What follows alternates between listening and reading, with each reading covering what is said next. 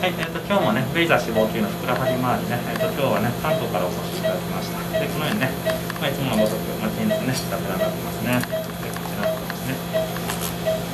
うん、はい、じゃあ、まあ、非常にね、綺麗な滑らかな仕上がりになりそうです。はい。